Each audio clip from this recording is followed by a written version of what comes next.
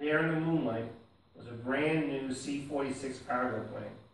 On the plane's nose, in huge red and black letters, read Lady in the Dark.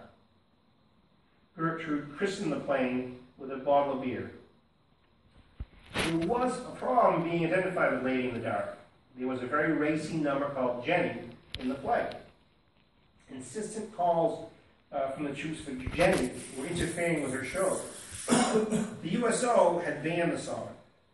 She appealed and told them that the, that the, the crowds asking for it were causing trouble. Uh, there was a section in that song which included bumps. And the USO stated that she could do the song if she didn't do the bumps. But the boys want the bumps, she implored. The USO consulted the Pentagon. Pentagon replied that Miss Lawrence may do the bumps, provided she did them sideways.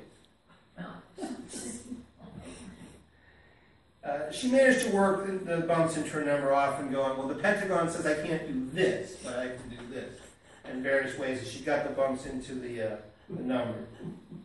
Apparently, they thought these boys who've seen combat couldn't handle a, a song.